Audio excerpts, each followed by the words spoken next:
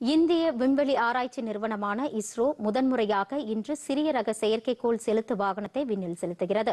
இதற்கான கவுண்டவுன் தொடங்கப்பட்டுள்ள நிலையில் ஸ்ரீஹரிகோட்டாவிலிருந்து பொதிகை தொலைக்காட்சியின் செய்திப்பிரிவு துணை இயக்குநர் எம் ஜெய்சிங் அளிக்கும் கூடுதல் விவரங்களை காணலாம்.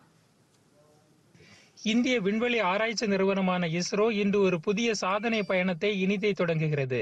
எஸ் எஸ் எல்வி என்று அழைக்கப்படும் சிறு செயற்கைக்கோள் செலுத்து வாகனத்தை அது இன்று காலை மணி ஒன்பது பதினெட்டில் விண்ணுக்கு செலுத்துகிறது.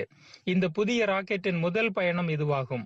இந்த சோதனை அடிப்படையிலான பயணத்தின் போது நூற்று முப்பத்தைந்து கிலோ எடை கொண்ட இஓஎஸ் ஜீரோ டூ என்ற புவி கண்காணிப்பு செயற்கைக்கோளையும் காஷ்மீரிலிருந்து கன்னியாகுமரி வரையிலான எழுபத்தைந்து அரசு பள்ளிகளை சேர்ந்த எழுநூற்று ஐம்பது மாணவிகள் உருவாக்கிய எழுபத்தைந்து விண் கருவிகளை கொண்ட ஆசாதி சேட் எனும் நானோ சேட்டலைட்டையும் அது பூமியின் நிலநடுக்கோட்டிலிருந்து முன்னூற்று ஐம்பது கிலோமீட்டர் உயரத்தில் அதாவது லியோ என்று அழைக்கப்படும் குறைந்த உயர சுற்றுப்பாதையில் செலுத்த உள்ளது எஸ்எஸ்எல்வி ஏவு வாகனம் ஐநூறு கிலோ வரையிலான செயற்கைக்கோள்களை பூமியிலிருந்து ஐநூறு கிலோமீட்டர் உயரம் வரை செலுத்தும் திறன் படைத்ததாகும்.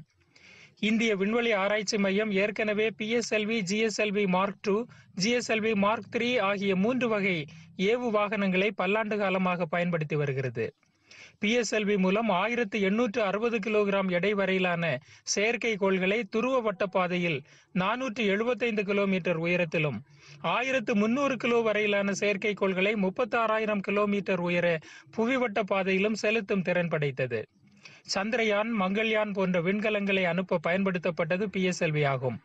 இரண்டாயிரத்தி இருநூறு கிலோ வரை எடை கொண்ட புவிநிலை செயற்கைக்கோள்களை ஜிஎஸ்எல்வி மார்க் டூ ஏவு வாகனம் ஏவக்கூடியதாக இருக்கிறது. அதுபோல ஜிஎஸ்எல்வி மார்க் த்ரீ நான்காயிரம் கிலோ வரை எடை கொண்ட செயற்கைக்கோள்களை முப்பத்தி ஆறாயிரம் கிலோமீட்டர் உயர புவிவட்ட பாதையில் செலுத்த பயன்படுகிறது. இதுவரை குறைந்த உயர பாதைகளில் செயற்கைக்கோள்களை செலுத்த பிஎஸ்எல்வி பயன்படுத்தப்பட்டு வந்தது. அதனை உருவாக்க ஒரு மாதத்திற்கு மேலாகும். பிஎஸ்எல்வி ஜிஎஸ்எல்வி ஆகிய செலுத்து வாகனங்களில் திட திரவ எரிபொருள்களும் ஜிஎஸ்எல்வி ரக வாகனங்களில் கூடுதலாக கிரையோஜெனிக் என்ஜினும் பொருத்தப்படுகின்றன. இவை சிக்கலான நடைமுறைகளை கொண்டவை என்பதால் அவற்றை தயாரிப்பது அதிக நாட்கள் பிடிப்பதாகவும் செலவு மிக்கதாகவும் உள்ளது. ஆனால் ஐநூறு கிலோ வரையிலான சிறிய ரக செயற்கைக்கோள்களை குறைந்த உயரத்திற்கு அனுப்புவதற்கு இதைவிட சிறிய எளிதான செலுத்து வாகனங்களே போதுமானவை என்று இஸ்ரோ முடிவு செய்தது. அதன்படி இப்போது எஸ்எஸ்எல்வி என்னும் இந்த புதிய செலுத்து வாகனத்தை உருவாக்கி அது சோதனை செய்யப்படுகிறது. இதனை ஒரு வாரத்திற்கும் குறைந்த நாட்களில் உருவாக்கிவிட முடியும். ஏனெனில் இது மூன்று நிலைகள் காணப்படுகின்றன. மூன்றுமே திட எரிபொருள் நிலை மட்டுமே. விண்ணில் செலுத்தப்பட்ட பின்பு அதனை துல்லியமான பாதைக்கு திருப்புவதற்காக கூடுதலாக ஐந்து கிலோ எடை கொண்ட திரவ எரிபொருள் என்ஜின் அதில் காணப்படும். உலக அளவில் சிறு குறு மற்றும் நானோ செயற்கைக்கோள்களை செலுத்துவதற்கு ஏராளமான வணிக வாய்ப்புகள் காணப்படுகின்றன. இரண்டாயிரத்தி முப்பதாம் ஆண்டுக்குள் சிறு கோள்களை ஏவுவதற்கான சந்தை மதிப்பு ஆறாயிரத்து தொள்ளாயிரம் கோடி டாலர் என்ற அளவை எட்டும் என்று எதிர்பார்க்கப்படுகிறது.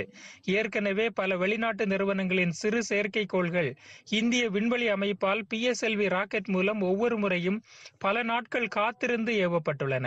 எஸ் எஸ் எல்வி மூலமாக அவற்றை இனி நினைத்த மாத்திரத்தில் விண்ணுக்கு செலுத்தி மேலும் அதிக வணிக வாய்ப்புகளை பெற முடியும் என்பதோடு இதனை தனியார் துறையினரும் இணைந்து எளிதில் தயாரிக்க முடியும்.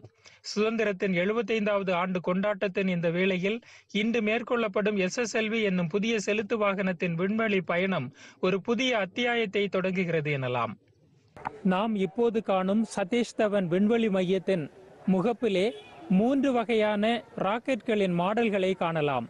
இன்று ஏவப்படும் எஸ்எஸ்எல்வியின் வெற்றிக்கு பின்னர் இதன் எண்ணிக்கை நான்காக அதிகரிக்கும் என்பதோடு உலக அளவில் சிறு செயற்கைக்கோள்களை ஏவுவதற்கான சந்தையின் பெரும் பகுதியை இந்தியா கவர பெரும்பாலான வாய்ப்புகள் நமக்கு காத்திருக்கின்றன. பொதிகை செய்திகளுக்காக ஒளிப்பதிவாளர் வாசுவுடன் ஸ்ரீஹரிகோட்டாவிலிருந்து ஜெயசிங்.